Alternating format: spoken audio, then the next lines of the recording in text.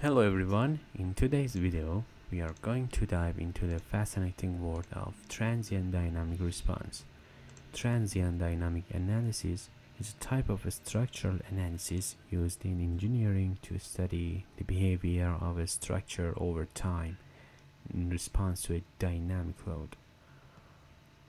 Unlike static analysis, which examines the structure under constant or slowly varying loads, transient dynamic analysis considers the effects of rapidly changing loads or forces applied over a specified time period. There are significant differences between transient response and steady state response as you can see in the figure and Transient response describes system behavior during the time it takes to reach stability after a change in input. And it focuses on the initial time dependent phase and it also analyzes parameters like overshoot, rise time, and settling time. And it reflects short term stability and settling characteristics and as you can see in transient dynamic analysis the goal is to understand how a structure or system responds to dynamic events such as impact vibration seismic activity or any other time dependent loading. And this type of analysis is crucial for designing structures and mechanical components that must withstand dynamic forces ensuring their safety, reliability, and performance. Uh, on the other hand, steady state response describes system behavior after it has reached a stable state in response to a constant or periodic input and it focuses on the long term unchanging behavior and it also analyzes parameters like amplitude, frequency, and phase. And obviously, it reflects long term stability and sustained behavior.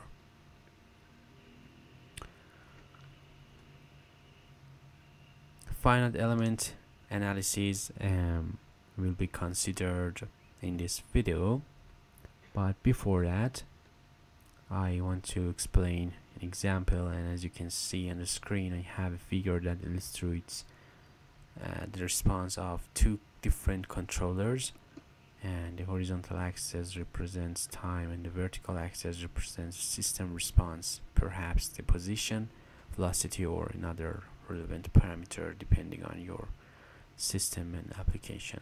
And transient response refers to how a system behaves during the time it takes to reach a stable state. And you can see the control effort as as the input of the system.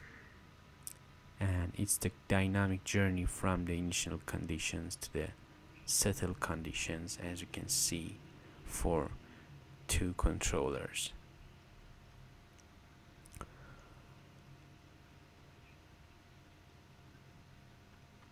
finite element methods uh, allows allow engineers to discretize complex structures into smaller manageable elements for computational purposes and this enables a detailed and accurate simulation of the structural response to dynamic loading conditions.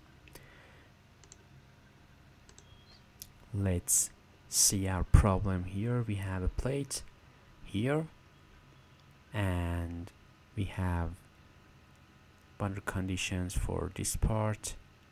This part of our instance has been fixed and concentrated force is applied to our plate at this node which is placed on the middle point of the edge and concentrated force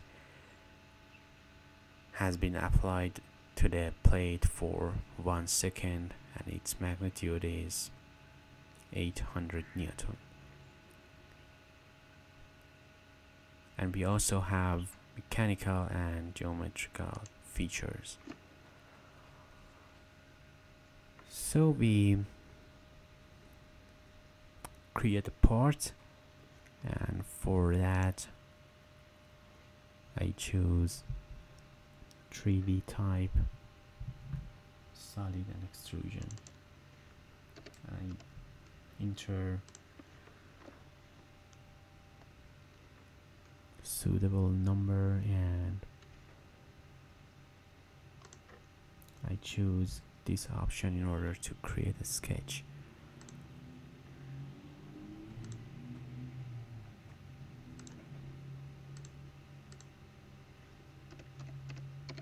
yeah I determine the dimensions.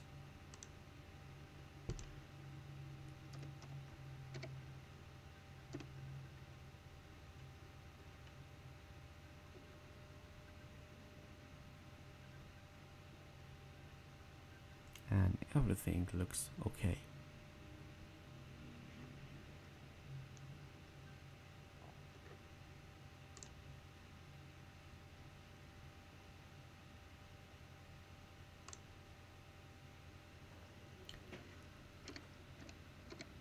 I choose 205 as depth of, of the extrusion. And here I have my part and then I must determine the properties. First step I choose mass density. And then I must determine Young modulus and Poisson ratio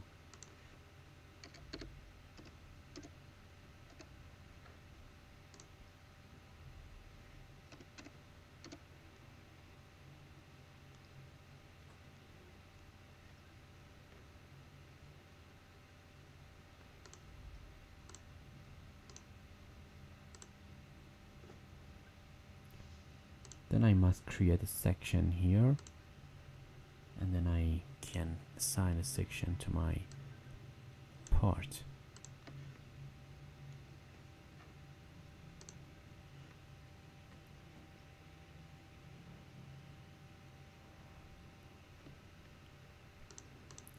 Okay then I can create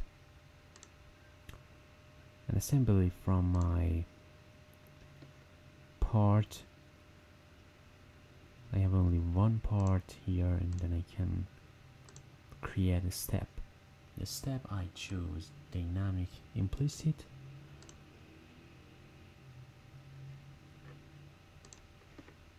And I choose time period as one and I must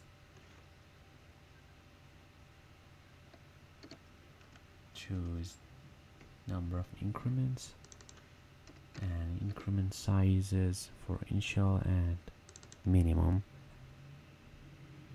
Okay.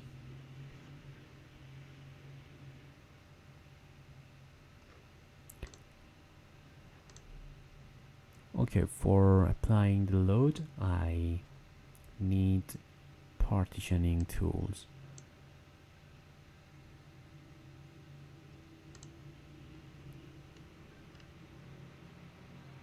from here I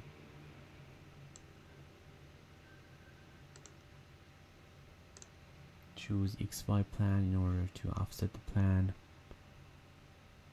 For 0.3 I suppose it is suitable yeah. And using this plan I can partition my part and it will be divided into two different parts as you will see. And I choose this one.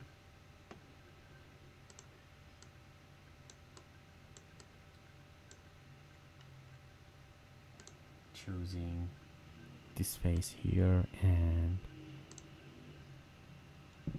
the plan created here. Yeah.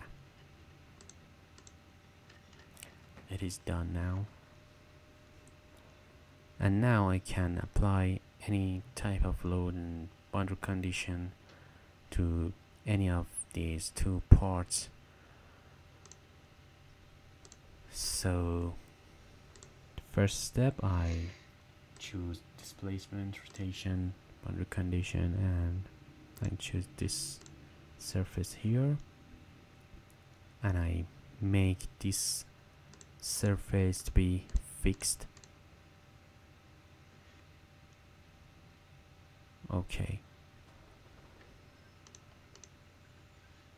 Okay good. As you can see this part has been fixed. Then I can apply my concentrated force. But before that I must determine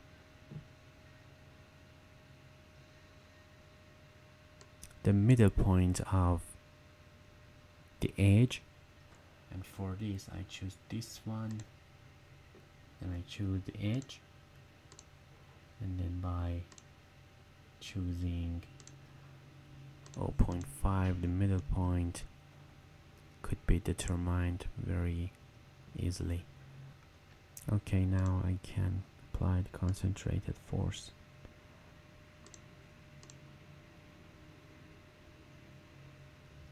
here.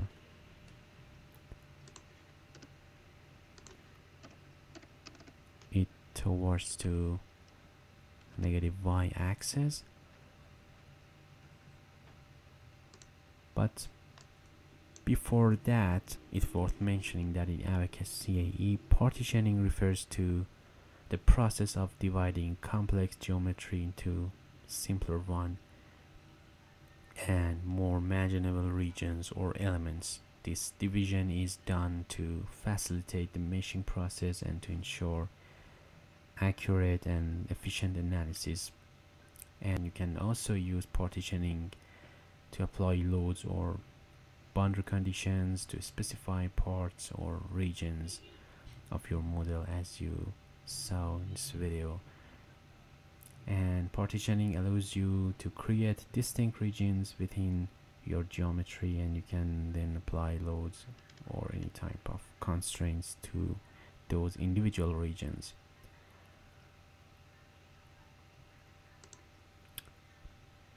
And as you can see this can be useful when you want to focus on specific areas of your model or apply different loading conditions to different parts.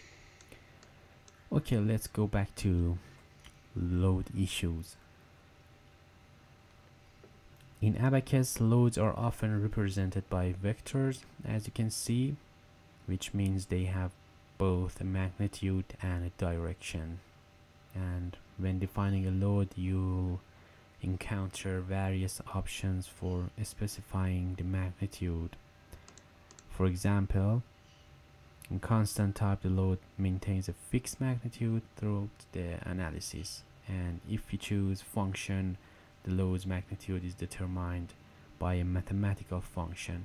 And when you choose tabular as the amplitude for the load you're opting to define the load's magnitude as a function of time using a table of values. And this table specifies the load magnitude at various time points allowing Abaqus to interpolate between these points to determine the load value at any given time during the analysis.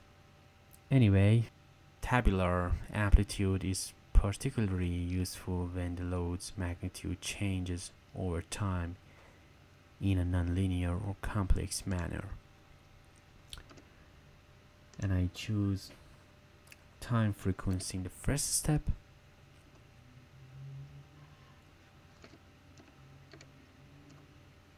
These are the times when the amplitude of the force changes. 0 and 0 again.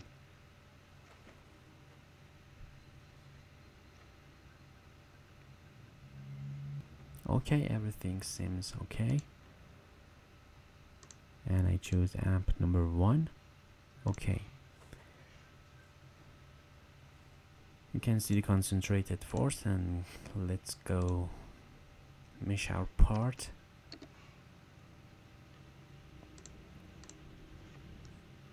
Oh, point one is okay. And here we go yeah. Now we can define a job.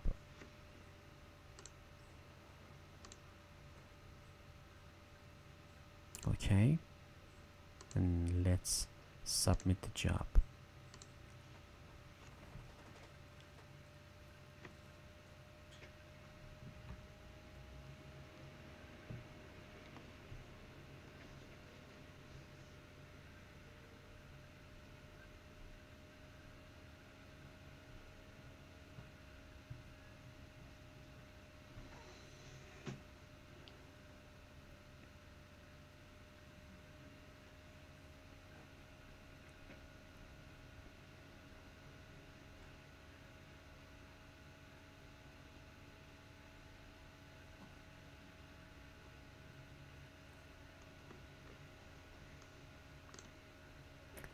okay our simulation has been done and we can see the results here. And as you can see the stresses are not very significant and we can have the animation of our simulation and in order to plot the results I suppose we can use xy plots. Using this one and unique nodal from here. We can have three components of displacement vector and from here I must choose the node I want to plot its displacement vector. Okay.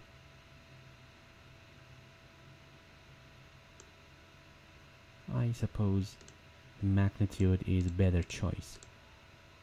So again